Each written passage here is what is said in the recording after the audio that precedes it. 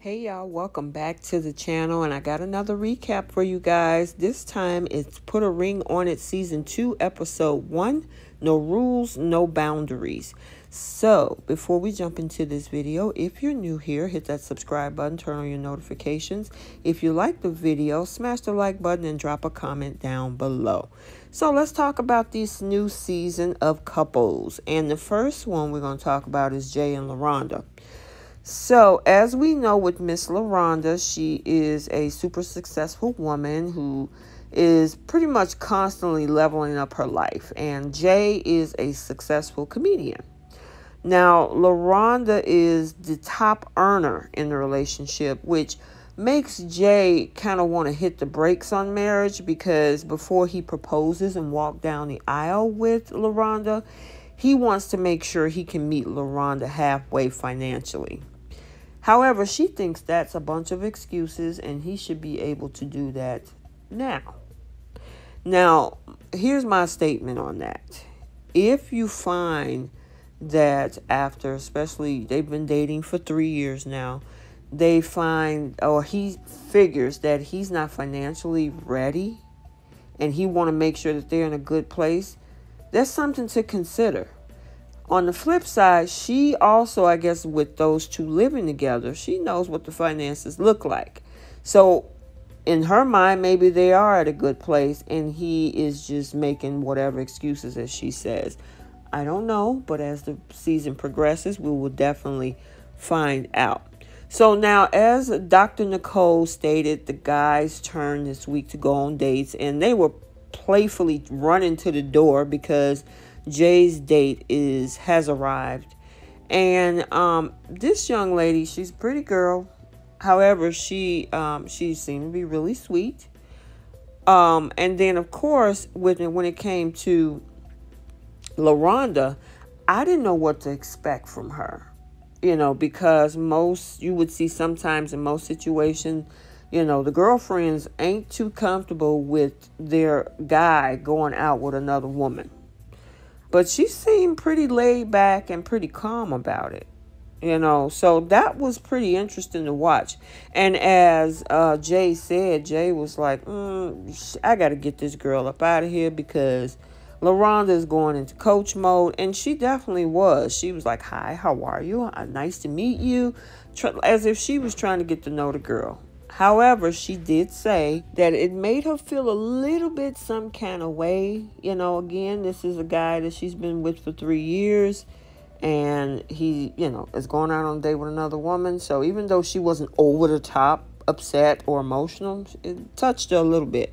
So let's talk about Jay's date though. Now, this girl, she's really pretty. She's very sweet. Um, she definitely thought it was exciting that he is a comedian because that's the type of person that, you know, she's looking for. And honestly, he thought it was a little bit too perfect. Now, I don't know if, and sometimes I know you guys probably heard of the statement people, when you first meet them, put on their representative. And so maybe that's what he was referring to because, I mean, they hit it off too well, too quickly within that hour. Now, remember, Dr. Nicole did say that they lined them up with folks who they're requesting or who they think they might like. So obviously, they put him with somebody that they thought that he would be extremely compatible with.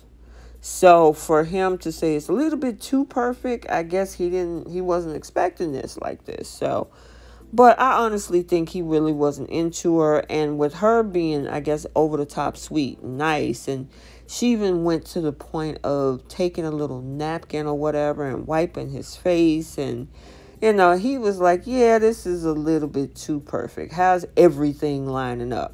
You know. So, but hey, you got to be careful of what you ask for, right? So Dr. Nicole now sits down with all of the couples, but since we're talking about Jay and LaRonda, um, the question was, are you going to see this young lady again? And he said, no, you know, I don't want another date with her. I'll, you know, just find me somebody else differently next time because she was just too perfect. So I don't know if she he thought that she just wasn't authentic. She was putting on her representative, but uh, he didn't choose her to go out with again. The other thing is Miss LaRonda. She was pretty calm and cool and collected about this whole thing. Of course, she's probably happy that he's not going out with her again. But the thing is, is that, you know, her reaction is not typical of what we would see with their man going out with someone else. So we'll see what happened in the future with this couple. So now let's talk about Darian and Alexia. And from what we know, um, this couple has been dating on and off for 14 years. I mean, even after they were dating for 10 years out of those 14 years, they finally moved in together.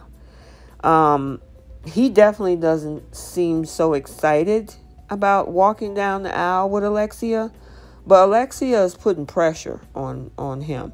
Now, here's my my my thing with this here, right? I mean, she is first of all, let's get the preliminaries out the way. She's a professional basketball player. He's an entertainer.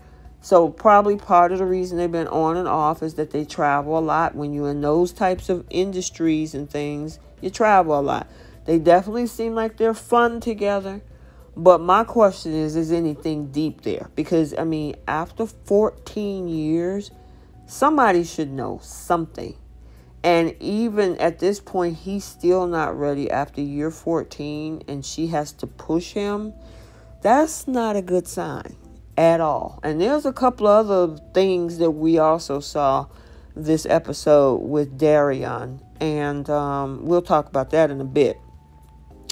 But um, he seemed pretty excited to be going on a date and everything. She definitely was not. This is usually the typical reaction or response that you would, you know, of course, see with a woman who, you know, got a, a significant other going out with another woman, right? But my question is is Darian out here for the right reasons? I don't know. It's just it's interesting how he displays himself. So he gets ready to go on his date. And yeah, Alexia is not feeling it. He's like, yeah, I'm ready for it. I'm excited. You know, I actually get the chance to go out on a date while I'm in another relationship. I, yeah. So I'm wondering with him, you know, is there twofold? Is this opportunity to date and also the opportunity to get some exposure? I don't want to put that on him. It'll manifest itself. So whether it's true or not, we'll we'll see it come out in the end. During the season, probably after the season. So his date arrives, and of course he's excited about it. Um, now with this particular girl that he's going out with, and she's really pretty as well, um, is that she is a little bit more. She's assertive. She's very assertive. She's very straightforward. Um, and Alexia is looking like, yeah, well, yeah, I want you to go out now. You know, she was definitely not feeling this her her dude going on this date. So let's talk about this date and um, he was definitely excited to be on this date because of course he said being in a relationship for 14 years he haven't dated in a long time. And you know kai which is who this young lady is she was asking him are you a cheater? He says no i'm not a cheater. Are you? No i mean it was pretty basic.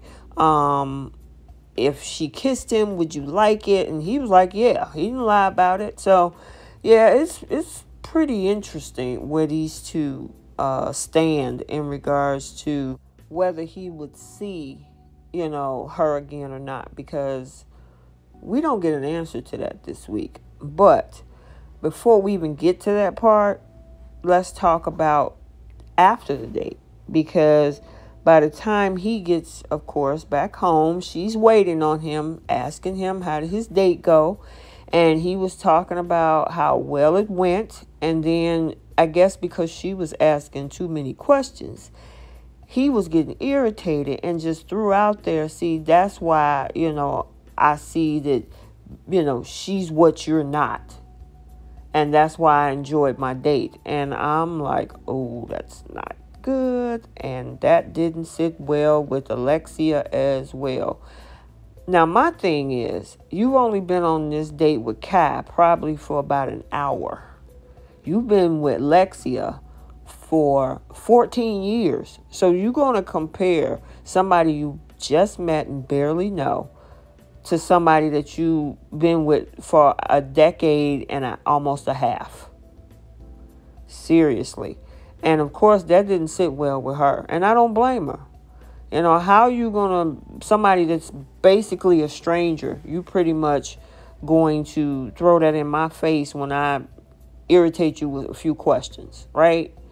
So, yeah, she had to lead the scene on that one. She was pissed off. She was not happy. And there's no way he should have triangulated her like that. Yeah, I mean, like he said, maybe it's fresh and new, but you don't throw that up in your girlfriend's face. That wasn't cool. That was not a, you know, that wasn't a good move on his part. That didn't look too good, Darian. So, yeah, I, I I'm wondering how the tables are going to be turned when it's her turn to go. You know, and it seemed like he was like, okay, fine, you know, whatever. And then the thing is, he mentioned that Kai is one of those girls that would be perfect for him being an entertainer. What does that mean? I don't know. But, mm, okay. So it's now time for them uh, also to have a conversation with Dr. Nicole. And she brought it up. Alexa, Alexia, you know, told Dr. Nicole, look, this man had the nerve to compare me to somebody he barely even know. And I don't think that was cool. So I'm glad she brought it up. We didn't get an answer to what he's going to do about Kai. But let's move into Jessica and Eric. So now Jessica and Eric, they have been dating for four years. He is an ex NFL player and he's trying to adjust to that life after being in the uh, professional sport. And Jessica is just adjusting to Eric being fully committed. Now, the couple has definitely been battling some issues from day one. And the two are definitely not on the same page about when the couple even was official. So, I mean, they definitely look cute together. He's a pro, you know, He's a, a professional athlete.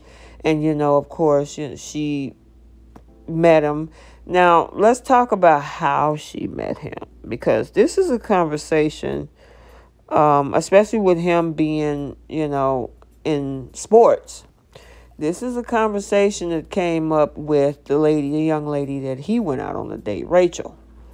But um, I will say one thing before I even jump into that hefty subject, she's extremely insecure about her position in his life.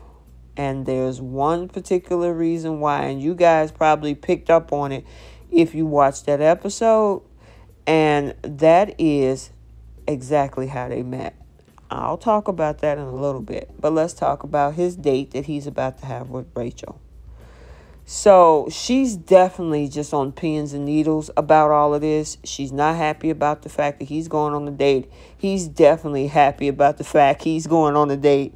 And I mean, he's smiling and cheesing from ear to ear. Even got his little leopard shirt on, just fitting his muscles in the right places or whatever.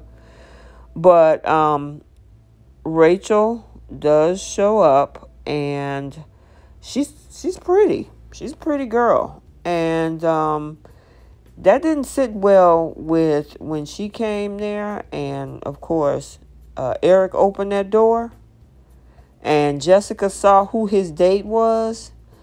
Uh, yeah, her insecurities went to an all-time high because she was a pretty she is a pretty girl you know and she even get went to the point because even though dr nicole said no rules, no boundaries, she still tried to get him a curfew. And um, he was like, shoot, I'm a grown man. I don't have a curfew. And she was like, no, you better, you know what time you need to be up in here. You don't be out there. And I'm like, yeah, okay. I don't know if she just said that just for the drama of it all, but she definitely wanted to make sure that this man come back at a decent hour. And that's the thing that Dr. Nicole said. That's why she took the rules and the boundaries off because she didn't want folks doing something because somebody else told them to. She want them to make decisions based on how they feel being in the situation. So if you go outside of that, that's on you. You got to deal with that. And it's not you telling me what to do. It's you have to make that decision and the choice yourself. And one of the choices was he was definitely looking at Rachel's butt when he uh, when they were walking into dinner or whatever. Now, she was another one that asked about cheating because she definitely uh, is not about to have that in the next relationship she's been in. She's been in a situation where um, you know she's been cheated on and she don't want to go into anything else like that. And when she asked him which is the biggest thing about probably why uh, jessica is so insecure about her position in the relationship is how they met. They met because they were in a cheating type relationship. And when you start on start off on bs sometimes it end up exactly how you started it so if she felt that, you know, we started this relationship by cheating, is it possible I could get cheated on with with him or by him with someone else? And that possibility is there. You know, you teach people how to treat you. So if you already taught them in the beginning it was okay to do it this way, and I mean, I'm not going to say universally because there are different circumstances for everybody. But that was definitely something that he put on the table, um, you know, with uh, Rachel. And, you know, she took it with a grain of salt.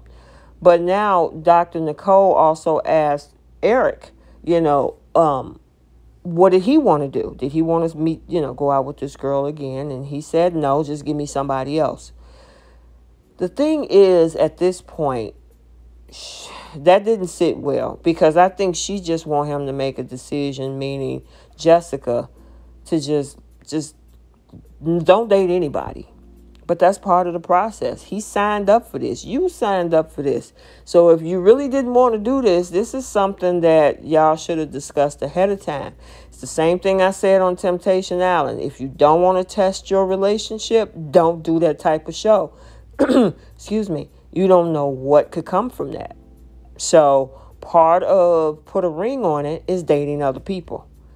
And because of the fact of how they met and the foundation of how their relationship started, it started they were in a cheating relationship. He admitted he was sleeping with or being with several different people at the same time, and she was one of them. So, of course, she's going to feel that that foundation is unstable because, hey, if I was able to do it with him, who's to say he's not able, you know, wouldn't do it with somebody else on me now? That's something to, to consider. And of course, she was emotional about that. But, you know, the thing is, she's going to have to think and choose what she's going to do for herself. You know, I mean, whether she wants to stay in this, who knows? They might turn this whole thing around. We got a long season ahead. This is just episode one. But maybe this is a situation that they may be able to turn it around. Maybe he'll see what uh, she has in him. Maybe she'll see something different because she got to go on a date too. So we'll see what happened with all of these couples in the next episode. So I hope you enjoyed the video. Like, comment, and subscribe, and we'll see you in the next one.